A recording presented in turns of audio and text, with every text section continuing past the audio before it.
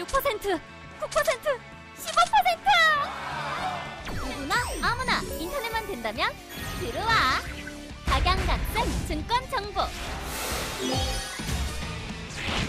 함께한다 이데일리 온 그럼 오늘 시장에서 투자자들은 어떤 종목 많이 사갔는지 전문가분들과 분석을 또 해드리겠습니다. 매매 고수 두 분이신데요. 자, 타이거 인베스트의 황윤석 대표 그리고 모스트 인베스트입니다. 이청원 차장과 함께합니다. 안녕하십니까? 안녕하세요. 자, 이청원 차장께서는 올장 특징주로 로봇 관련주 한 종목 그리고 제약주 JW 신약까지 보고 계신데요.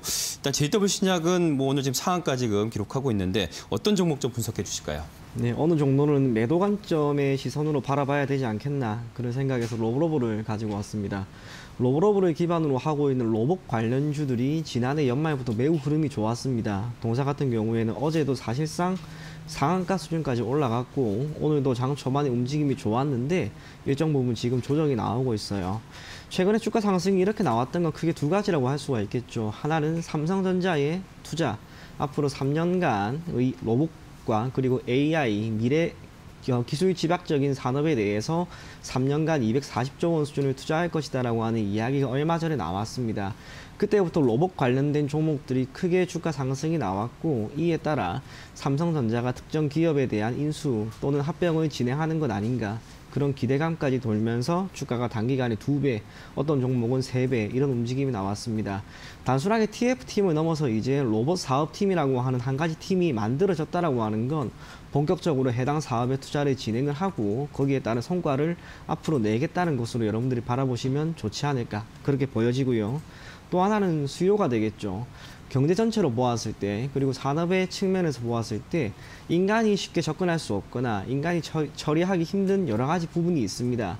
그런데 이걸 만약 로봇이 대처하게 된다면 그리고 지금 당장이 아니다 하더라도 5년이든 10년이든 시간이 많이 지났을 때 로봇이 대체할 수 있는 것이 많아진다면 필연적으로 기업의 입장에서는 노동력을 기반으로 하고 있는 임금 지급 그게 생산 단가를 오히려 로봇이 크게 인하시켜줄 수 있는 그런 기회가 생길 거예요. 당연히 기업의 입장에서는 이 로봇에 대한 투자를 진행을 할 것이고 거기에 따른 결과를 미래에 충분히 얻을 수 있을 거라고 봅니다. 실적도 다행스럽게 나쁘지가 않습니다. 지난해까지는 그리 좋지 않은 실적이었지만 올해 조금씩 조금씩 나아졌어요. 그리고 올 3분기 기준으로 실적 개선세, 특히 영업이익 같은 경우에는 전년 동기 대비 42.6%가 증가를 합니다.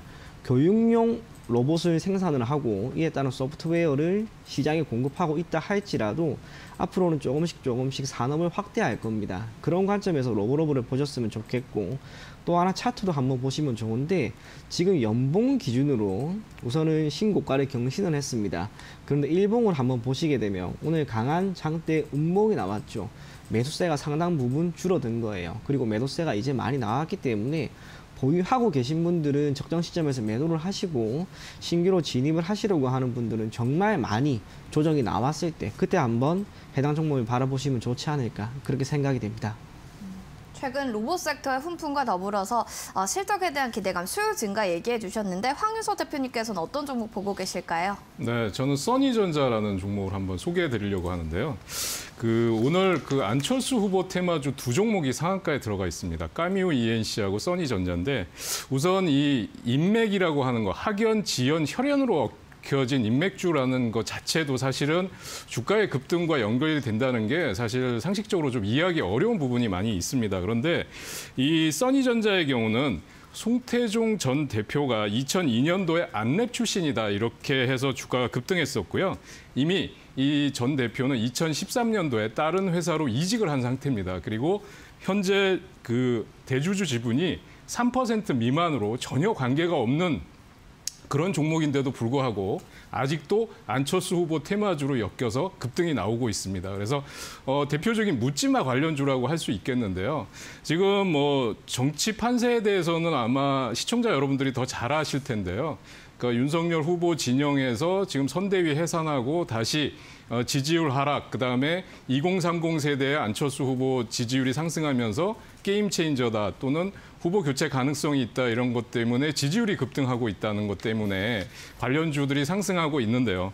지금 보면 아까도 말씀드렸지만 지금 이 써니전자의 경우는 우선 다른 급등주 안철수 후보 관련 인맥주도 어, 사실은 뭐 학연, 지연, 하, 열- 혈연으로 엮여진 종목이기 때문에 사실상 논리적으로 납득하기 어려운 상황인데 이 써니전자의 경우는 안철수 후보와 이미 아무런 관련이 없는 종목인데도 오늘 상한가에 진입을 하고 있습니다. 그래서 지금부터는 리스크 관리 상당히 중요하다라고 말씀드리고요. 이런 종목을 무리하게 추격 매수하거나 아, 또는 어, 상따를 하는 이런 매매는 절대 하지 마시기 바라고요.